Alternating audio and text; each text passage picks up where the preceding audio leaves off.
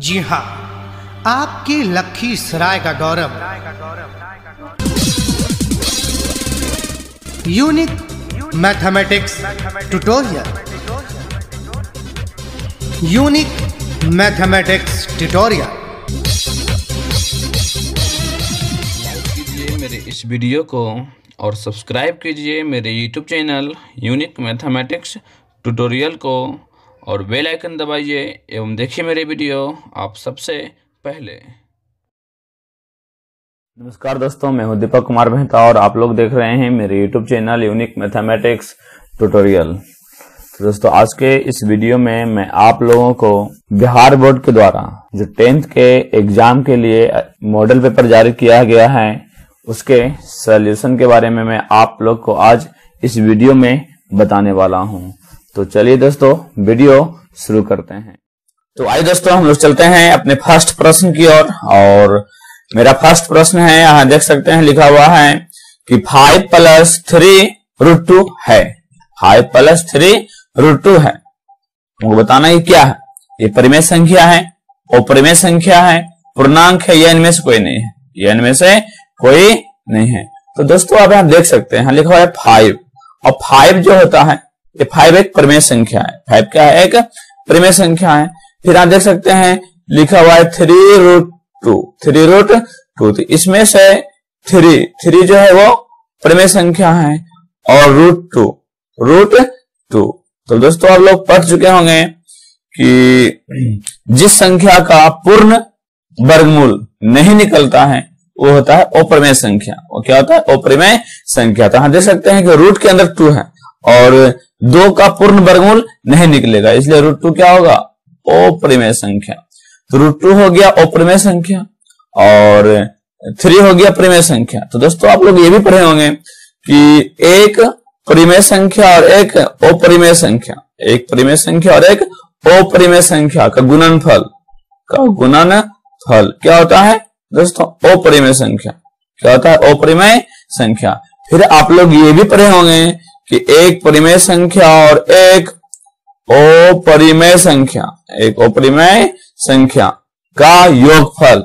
एक परिमेय संख्या और एक अपरिमेय संख्या का योगफल क्या होता है? अपरिमेय संख्या। अपरिमेय संख्या। ठीक है दोस्तों? इसलिए इसका जो आंसर होगा, वो आंसर होगा ऑप्शन नंबर बी ओ परिमेय संख्या। तो आइए दोस्तों हम लोग चलते हैं प्रश्न संख्या टू की ओर। और, प्रश्न संख्या टू में दिया हुआ है निम्न में कौन अभाज है? निम्न में कौन अभाज है? तो दोस्तों ये बहुत ही इजी प्रश्न है। अभाज संख्या के बारे में आप लोग बचपन में ही पढ़ चुके हैं कि वह संख्या जो एक से और स्वयं से कट जाता हो उसे अभाज्य संख्या कहते हैं। ठीक है दोस्तों वह संख्या जो एक से और स्वयं से कट जाता हो उसे अभाज्य संख्या कहते हैं। तो दोस्तों आप देख सकते हैं लिखा हुआ है अट्ठाईस। तो ये दोस्तों एक से भी करता है स्वयं से भी कटता है दो से भी कटता है चार से भी कटता है सात से भी कटता है इसलिए अट्ठाईस जो होगा वो अभा संख्या नहीं होगा। फिर दोस्तों आप देख सकते हैं ये दिया हुआ है सिक्सटी नाइन यानी उनहत्तर। ये भी दोस्तों एक से कटेगा स्वयं से कटेगा तीन से भी कट जाएगा इसलिए दोस्तों अभा संख्या नहीं होगा।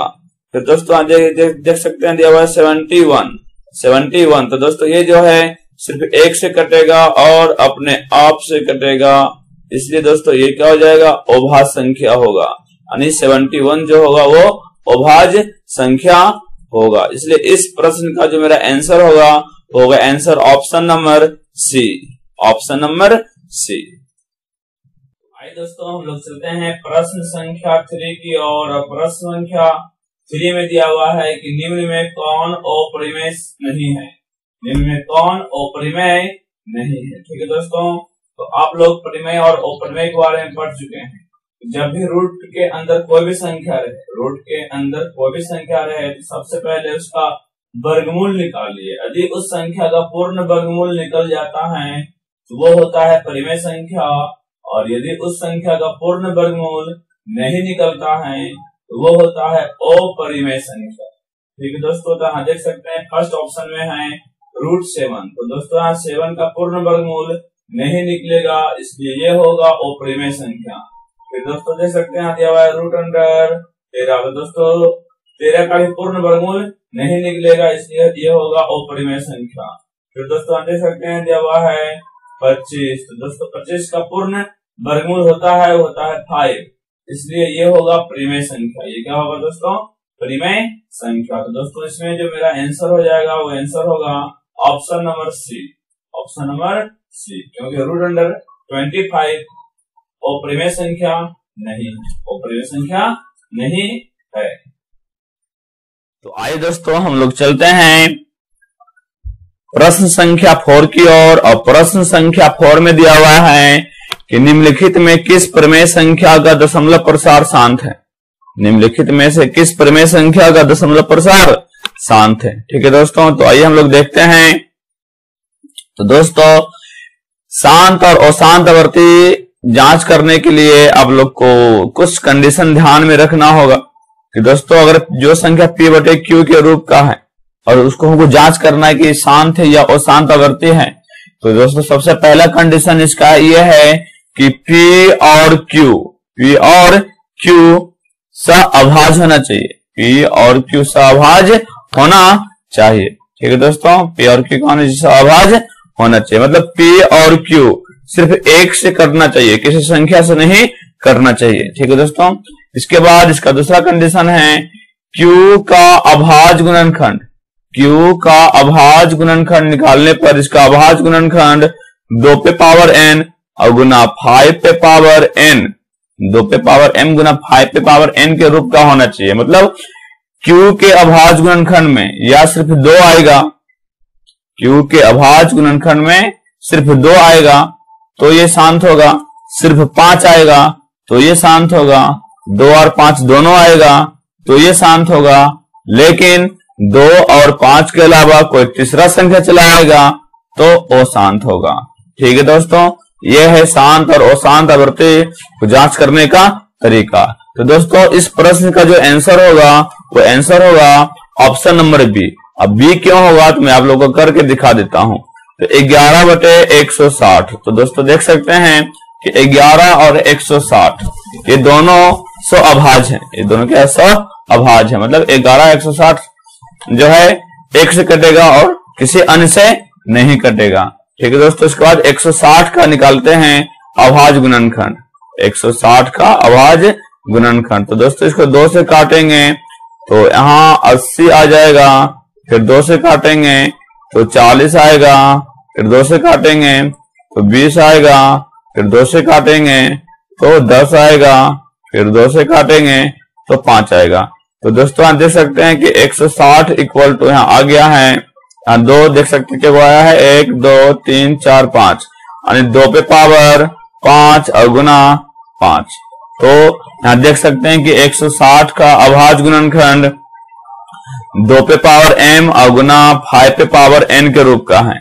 दो पे पावर m गुना फाइव पे पावर n के रूप का है। इसलिए ग्यारह बटे एक सौ साठ जो होगा, वो होगा शांत और क्या होगा?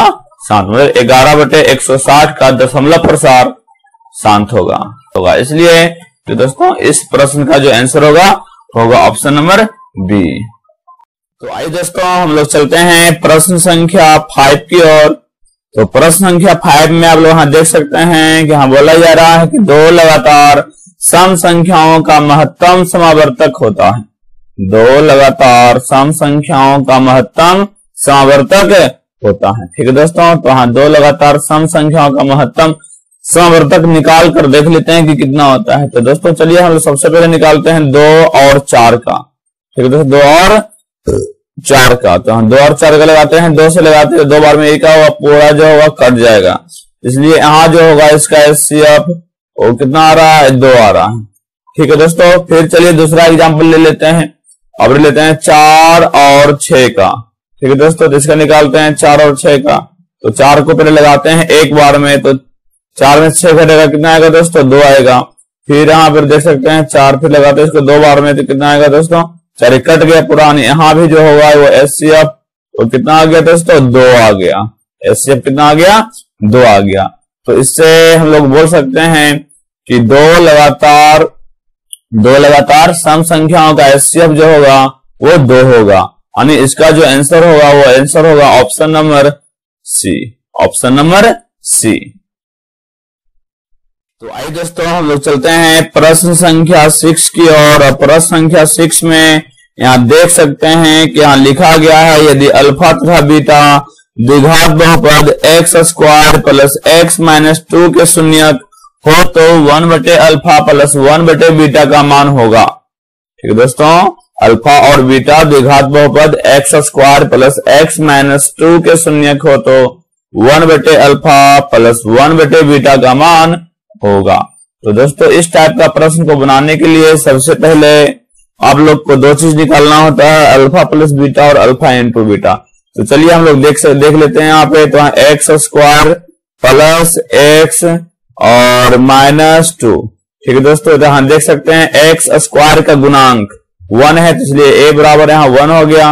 एक्स का गुणांक भी वन है, इसलिए बी बराबर भी कितना हो गया दोस्तों वन हो गया और सी बराबर हो गया माइनस टू अब दोस्तों हम लोग जानते हैं formula alpha plus beta alpha plus beta बराबर होता है फॉर्मूला माइनस बी बटे ए ठीक है दोस्तों यहाँ हो गया माइनस वन बटे वन यानी यहाँ आ गया माइनस वन फिर alpha into beta alpha into beta का फॉर्मूला होता है सी बटे ए तो वहाँ हो गया माइनस टू बटे वन ठीक है दोस्तों, यहाँ हो गया माइनस टू हो गया। तो हमको निकालना है वन बटे अल्फ़ा प्लस वन बटे बीटा तो दोस्तों, इसका एल्सियम ले लेंगे तो हो जाएगा यहाँ अल्फ़ा इंटू बीटा और यहाँ हो जाएगा बीटा प्लस अल्फ़ा। ठीक है दोस्तों तो यहाँ पे लिख लिख सकते हैं हम लोग, अल्फ़ा प्लस बीटा बटे अल्फ़ा इंटू बीटा। तो अल्फ़ा प्लस बीटा यहाँ पे आ गया है, माइनस वन और अल्फ़ा इंटू बीटा है माइनस टू। अब यहाँ माइनस माइनस काट देंगे तो यहाँ आएगा वन बाय टू। क्या दोस्तों, वन बाय टू। तो ये मेरा वन बाय टू होगा, इसका आंसर होगा। वन बाय टू जो होगा, इसका आंसर होगा। तो दोस्तों, इस प्रश्न का, इस प्रश्न का आंसर होगा ऑप्शन नंबर ए इस प्रश्न का आंसर होगा ऑप्शन नंबर ए तो आइए दोस्तों, हम लोग चलते हैं प्रश्न संख्या सेवन की ओर। और प्रश्न संख्या सेवन में यहाँ दिया हुआ है कि यदि किसी समांतर श्रेणी का एनवा पद ए एन प्लस बी है तो इसका पदांतर है। इसका पदांतर है, ठीक है दोस्तों? तो हमको निकालना है इसका पदांतर। तो दोस्तों यहाँ पे इसका एनवा पद दिया हुआ है। एनवा पद दिया हुआ, यानी ए एन बराबर। ए एन बराबर दिया हुआ है। A N plus B. A N plus B तो हमको निकालना है D. D equal to what ठीक है दोस्तों तो सबसे पहले यहाँ निकाल लेते हैं ए वन। तो दोस्तों देख सकते हैं यहाँ पे एन है। तो यहाँ पे एन है। अब यहाँ ए वन आ गया ए वन के एन के जहाँ पे तो हो जाएगा ए गुना वन प्लस बी तो होगा दोस्तों ए प्लस बी अब दोस्तों यहाँ निकाल लेते हैं ए टू तो अब जहाँ एन था, वहाँ टू हो जाएगा तो जाएगा ए गुना टू प्लस बी ए गुना टू प्लस बी तो होगा two A plus B two A plus B तो अब निकाल लेते हैं दोस्तों, सार्वंतर, नहीं, पदांतर। तो डी बराबर फॉर्मूला हो जाएगा, दूसरा पद माइनस पहला पद। यानी A two minus A one तो दोस्तों यहाँ हो जाएगा ए टू ए टू दिया हुआ है टू ए प्लस बी और ए वन दिया हुआ है ए प्लस बी ठीक है दोस्तों तो यहाँ हो जाएगा टू ए प्लस बी और माइनस ए माइनस बी ठीक है दोस्तों तो प्लस बी और माइनस बी कट गया और टू ए में से ए घटेगा तो बचेगा दोस्तों ए क्या बचेगा दोस्तों? ए इसलिए इस प्रश्न का जो मेरा आंसर होगा वो होगा answer option number B option number B तो आइए दोस्तों, हम लोग चलते हैं अब प्रश्न संख्या एट की ओर। प्रश्न संख्या एट में दिया हुआ है कि बिंदु पी सिक्स माइनस फाइव का भुज है। सिक्स माइनस फाइव का भुज है। तो दोस्तों, इसमें से आप लोग ध्यान रखिएगा कि जैसे कि कोई बिंदु का नियामक दिया हुआ है थ्री और फोर तो इसमें पहला नियामक पहला नियामक को हम लोग भुज बोलते हैं। और दूसरा नियामक को हम लोग कोटि बोलते हैं। ठीक है दोस्तों? पहला नियामक भुज कहलाता है, दूसरा नियामक कोटि कहलाता है। तो दोस्तों, इसमें दूसरा इसका भुज तो इसका भुज जो होगा वो सिक्स होगा, क्योंकि इसका पहला नियामक छह दिया हुआ है, इसलिए इसका भुज क्या होगा? सिक्स होगा। ठीक है दोस्तों?